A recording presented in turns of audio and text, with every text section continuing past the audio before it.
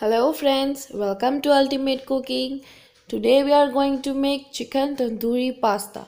This pasta is so tangy and so delicious to make and very easy. And your kids will love it. So let's start.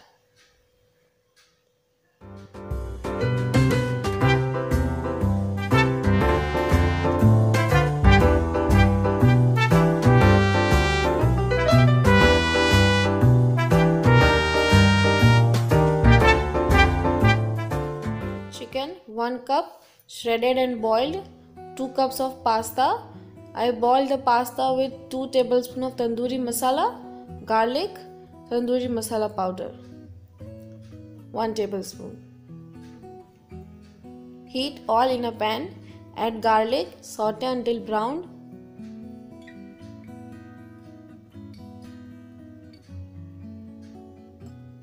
add tandoori masala powder this is almost 1 tablespoon of tandoori masala powder. Saute for 30 seconds, then add chicken. Saute until all masalas are well cooked and coated to the chicken. Now add 1 tablespoon of pasta masala, 1 and 1 cup of water. Saute on high flame for 3 minutes and again add 1 cup of water and simmer on low flame for 5 to 10 minutes.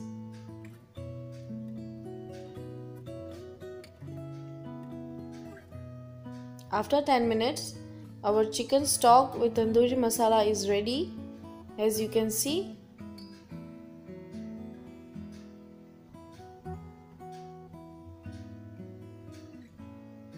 Now add 1 4th cup of tomato ketchup or you can add? Tomato paste too?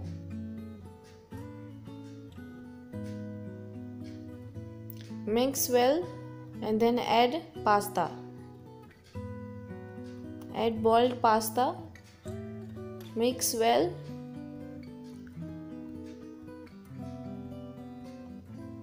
And saute on high flame for 3 to 4 minutes.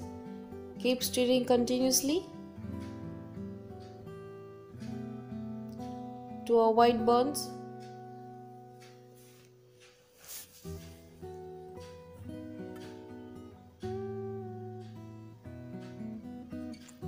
Now our spicy, tangy and juicy pasta is ready. Here you can see our pasta is ready.